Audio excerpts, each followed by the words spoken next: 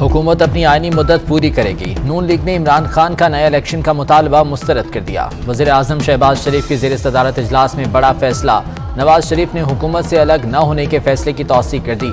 Long मार्च पर plan मुरतब करके तहादी जमातों से शेयर करने की हिदायत। किसी गैर आनी मुतालबे को कबूल नहीं किया जाएगा। महाजराई पर सख्ती से निपटने का फैसला।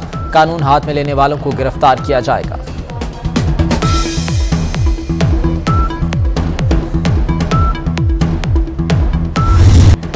बाईस हज़ार एहलकार, सौ कैदी वैगने और मजीद पंद्रह हज़ार आँसू गैस के शेल हुकूमत ने लॉन्ग मार्च के शुरा से निमटने का प्लान तैयार कर लिया।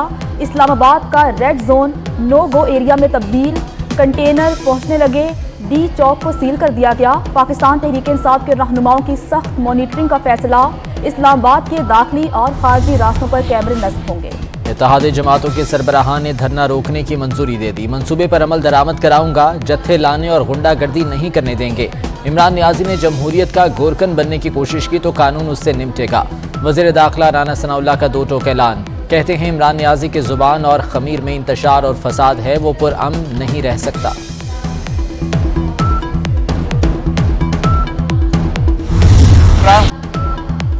वज़ीर खजाना का पेट्रोलियम मसनूआत महँगी न करने का ऐलान, मिफ्ता इस्माइल कहते हैं, इमरान खान के आईएमएफ के साथ माहदे के मुताबिक कीमतें बढ़ाई तो डीजल डेढ़ सौ रुपये पेट्रोल सौ रुपये फ़ी लीटर महँगा हो जाएगा।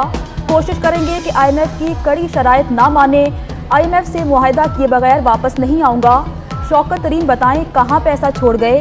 वज़ीर खजाना का उस्मान बुजदार पर सीमेंट के 16 लाइसेंस बेचने का इल्ज़ाम। सात सौ पीटीआई रहनुमाओं की गिरफ्तारी का मंसूबा है, फवाद चौधरी का दावा। कहते हैं, अकल के नाखून लें, गिदड़ भपकियों से मामला हल नहीं होगा, लाठी और गोली से लॉन्ग मार्च नहीं रुकेगा। लॉन्ग मार्च खैबर पख्तूनख्वा और पंजाब वालों के लिए है। कराची, हैदराबाद, सखर और कोयटा में एहतजाज होगा।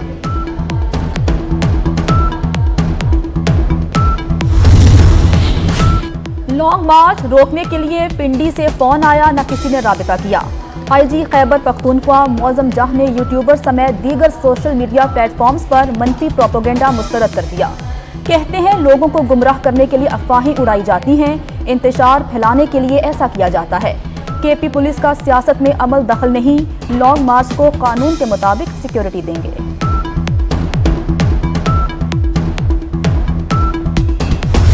हर रोज नया नैरेटिव जो है, वो तश्कील देता है। चार पाँच दफ़ा उसने मुख्तलिफ़ जलसों में न्यूट्रल के मतलब कहा कि अल्लाह ताला का भी हुक्म है कि न्यूट्रल नहीं होना चाहिए। ये भी कहा कि न्यूट्रल कोई नहीं होता, न्यूट्रल तो सिर्फ़ जानवर होते हैं। कल, राया साहब उसने कहा है, मैं उम्मीद करता हूँ कि जो एस्टेब्लिशमेंट है वो न्यूट्रल रहेगी अब कौन सी उसकी बात पे एतबार किया जाए? बाकायदा एक मनसूबे के तहत जो है झूठ बोलता है, बराबर झूठ बोलता है, फिर उसको कॉन्ट्रडिक्ट करता है, फिर नया झूठ जो है वो कंस्ट्रक्ट करता है।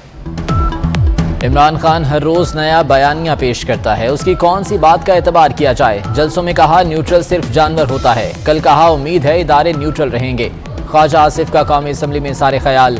कहा, इमरान खान मनसूबे के तहत झूठ बोलता है। उसके कॉल ऑफ़ फेल में तजाद है।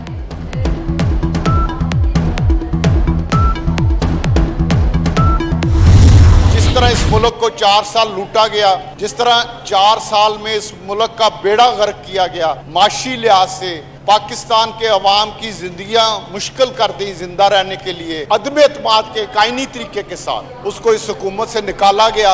हमने फिर भी उसके खिलाफ वोट नहीं दिया। हमारे खिलाफ रेफरेंस झूठा। ऑपोजिशन लीडर राजा रियाज भी इमरान खान पर बरस पड़े। चार साल मुल्क को बेदर्दी से लूटा गया। अवाम की बेहतरी के लिए एक काम नहीं हुआ। इमरान खान को आईनी तरीके से निकाला गया। हमने तहरीक अदम एतम में वोट नहीं दिया, फिर भी हमारे खिलाफ झूठा रेफरेंस बनाया गया। कर्ज लेना मजीद महँगा। बुनियादी शरह सूद में 150 बेसिस पॉइंट्स इजाफा। स्टेट बैंक ने शरह सूद तेरह अशारिया सात पाँच फ़ीसद कर दी मरकजी बैंक के मुताबिक महँगाई और आलमी अदायों के दबाव के बाद शरह सूद में इजाफा किया गया। आई एम एफ़ से मुजाकर जारी रखने का मशवरा, बिजली और पेट्रोलियम मसनूआत पर सब्सिडी वापस लेने की तजवीज़ दे दी।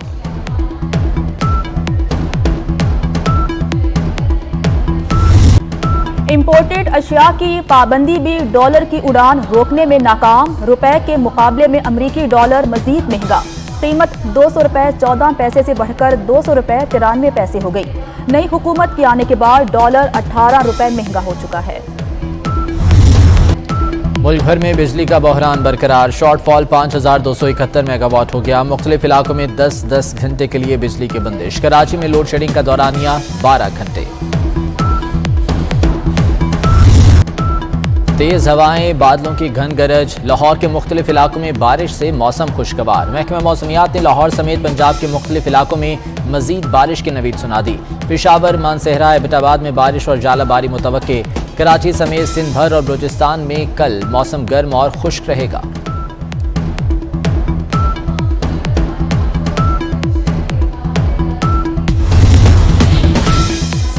नकल माफिया का राज। लाड़काना में दसवीं जमात का केमिस्ट्री का पर्चा आउट व्हाट्सएप के ग्रुपों में शेयर उम्मीदवार इम्तिहानी मराकज में मोबाइल फ़ोन के ज़रिए पेपर हल करने लगे।